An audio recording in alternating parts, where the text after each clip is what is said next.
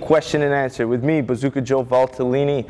I just want to start off this question and answer with a big shout out to Devin Reed, who says, Bazooka Joe, I train people who are down in life, and I've been sober for the past uh, three years as of March 8th, and these videos are helping him pass on and learn um, and improve his life. So, Devin, thank you for following along and passing this knowledge and this skill set um, in a positive direction. So, thank you for that. As you know, I spend my life as a teacher for kids with special needs and disabilities. So passing kickboxing on, um, passing the positive message on is something I want to do with the sport. So thank you for that. Let's get into the question and answer. The first question is from Coney M, who said, um, if I was scared or had fear before a fight, if so, what did I do to calm down? I think it's natural to have fear when going into a fight. It's a scary thing. Um, you're going in to knock someone out, someone's going to knock you out, and there's people watching. So you're going to be scared. But I think that's what makes fighting amazing. It keeps you alive is that nerves and that tension um, where you have that. And that's what allows you to excel um, and get and show um, that you're exceptional. And that's where you really become to shine. And some fighters have problems, and that's where you can't really teach this. You have fighters who just naturally shine in the ring under the lights. There's other people who break down because of the pressure and the nerves. So fighting isn't for everyone, but there are ways of training your mind, the way of training your body for that confidence. And it all comes with good mental training. Um, I think is your best friend in fighting. A big part of the game is psychological. So throughout your camp, you need to constantly um, confirm and, and, reassure yourself that you're in better training than this person. Um, your camp, your coaches all have confidence in yourself. And a good fighting career starts with confidence in yourself and people who surround you. So constantly change those negative thoughts. There's going to be tons of times where you're going to start thinking negative about the fight. Man, this guy's going to knock me out. This guy has so much experience. And looking at my fights, um, I was fighting guys with you know, 100 professional fights while I only had five or six fights on my career. So mental game is very important. Constantly change those negative thoughts and turn it into something positive. So instead of thinking about, oh man, this guy has a lot of power in his hands, he might knock me out with his punches, you have to think about what you do well and how you're going to avoid that. And constantly Visualize yourself winning. Uh, visualize your hand being raised. And my guys, um, you know, uh, my main guy, Troy Sheridan, you're going to see him every time he's done every round, every time he's done a pad session, he'll raise his hands, he'll, he'll keep his hands up just to get that feeling of being successful. And you want to make sure you leave the gym being positive every day. So, good question there. Uh, let's go on to question number two. I mentioned that Ernesto Hoost was one of my favorite kickboxers. Why not Rob Kaman? Um, and how is um, the Dutch style different from the so-called um, bazooka style that I've been teaching.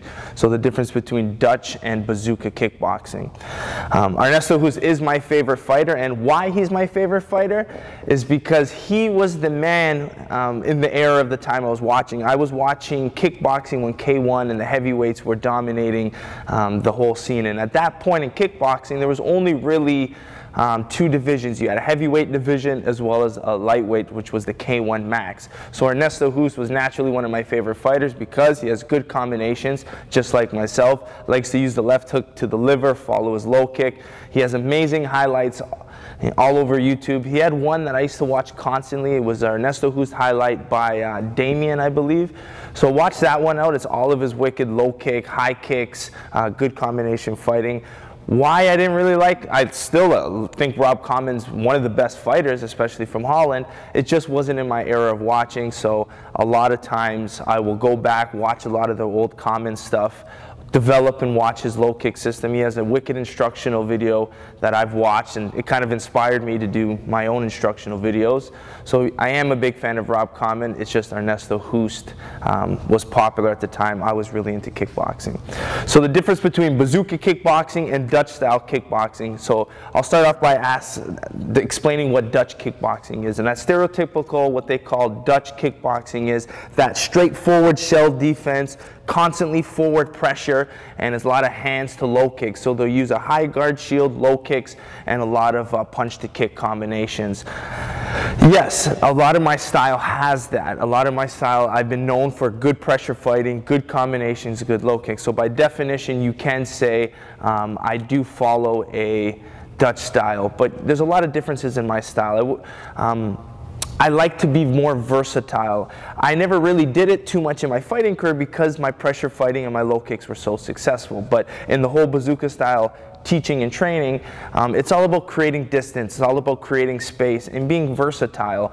Um, I don't want to be stuck to one type of defense. And you're going to see as um, the technical series advances, I don't just want shell defense. I develop parrying. I can develop head movement. Because boxing is a big part of the game, I feel you need to be able to change up the type of defense you block, counter, and attack with.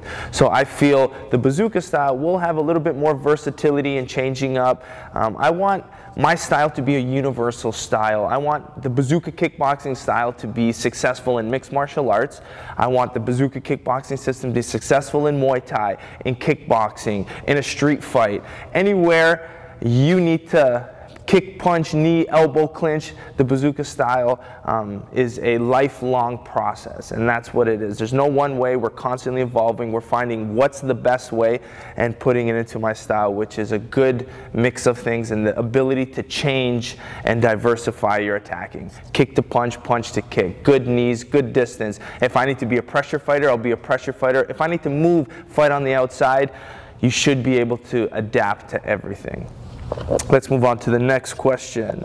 So those are some good questions this week. The next question, uh, what do I do for shin conditioning um, where there's a lot between smart training and getting injured? Conditioning for me, um, and you're going to hear it so many times, I do not run. People look at running as this big thing in conditioning. Um, I came from a health and physical education background, so I really applied good science and good training principles uh, to my camps and my career. So Conditioning, I did a, when I hit pads, I hit pads with full intensity. When I hit bag, I hit bag with full intensity. Um, everything I did had a purpose, and I and I trained um, to my limit. I don't. I'm not one of these people who would hit the bag and sit there and look around and see what the person besides me doing. You really have to focus in on your training, and a lot of people think oh, it's an hour training session or it's a two hour training session. They're looking at surviving the whole hour and finishing the two hour session and feeling good. Yeah, I completed it. But that's not how the way uh, you train your, your system in order to, to fight. You need to train your system to constantly push itself at 100%. So if you're doing bag and you gas out on the first round, that's a positive thing. You constantly need to keep pushing out that high pace, high volume, high intensity. So you might start off by 10 second blast and then it might go 20 second blast. But you need to constantly move what they call that anaerobic threshold. Keep pushing yourself. Let your body produce that lactic acid that makes it shut down. That's what you want. You want to train your body to get so fatigued. So don't always think about surviving the two hour session. Focus on the current drill you're doing or the pad work or the bag work, fully exhaust yourself, whether it's one minute and you build yourself up to survive a high paced fight rounds, whether it's five three minute rounds or whether it's three three minute rounds, whether you're fighting amateur or professional, build up that anaerobic tolerance in order to fight full pace, full conditioning for the full fight. Shin conditioning was the second part, uh, the first part of this question. It's just constantly working, and this is why running, they say, is good for you because it helps strengthen the bones in your legs. But for me, it's bag work. If you're constantly hitting the bag, you're constantly hitting your shin on a, on a, a target, which is going to um, help um, strengthen it and develop it. The more you spar, the more you train, the more you hit the bag, the more you hit the pads. That is your best way of developing your shins. A lot of people sit there and focus on, you know, the rollers on the shin, tapping your shins. If you're hitting good bag work, focusing put rounds on with just kicks. Sometimes I go to the wall pad and I'll sit there and I'll literally kick the bag for round after round after round, changing up the intensity of my, my kicks. But it's just that constant repetition to strengthen the shins. Don't over focus. Sometimes once in a while we'll do some no shin guard sparring just to work on controlling and touching the shins. But to me it's constantly just kicking bags and pads. That's why I like bag work over running. One of my many reasons. There's one more question I'll quickly answer. Um, this is a big open-ended question. I'll try to answer it within a minute or so. Uh, Mr. Joe, how do I improve the cardio and stay explosive while dieting? Well, this comes from good planning in your training camp. A lot of people wait to the last minute to cut weight in their camp. If you know you're a fighter and you fight at my, in my weight class. I was a welterweight at 170 pounds. I used to walk around at 195 to 200 pounds, and this is what my current weight is. But I would spend eight to 10 weeks slowly bringing my weight down, a pound or two a week to slowly bring it down. 24 hours out to my fight, I would cut about 10 to 12 pounds of the last weight, which is just water weight. So you need to do your homework um, eight weeks out. Don't wait until the last minute to cut your weight. Two pounds a week, slowly bring it down. Do the prep work before. Don't wait to the last minute. It's like studying for a test. If you want to do well on your exam, you don't crash study the day before. Yes, it's important to do your work before. You probably crash study at the end, which is fine, like we do with our weight cut anyways. But do your homework early. This way you'll have the energy throughout your training camp. Also do your research on good foods to eat. Um, I'll do a question and answer. I'll bring in some of my, my strength and conditioning coach, Costa Cladianos. I'll bring him in.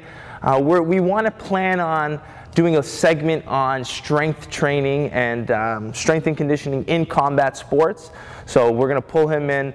But uh, I'll bring him in for the, the, maybe the next question and answer, discuss diet in training. But you need to eat your carbohydrates, good balanced meals, and do your homework before. So there you go, question and answer, February 19th. More to come next week. I'm not too sure how the question and answer will work. I'll be in Chicago for Glory 38, which I'm really excited for. It's a stacked card. So I'll be in Chicago. Maybe in Chicago I can answer a few questions and then get it up on the channel. But make sure you tune in to Glory 38 Chicago. Um, it's going to be on UFC Fight Pass is the Super Fight Series, and then ESPN will show the main card.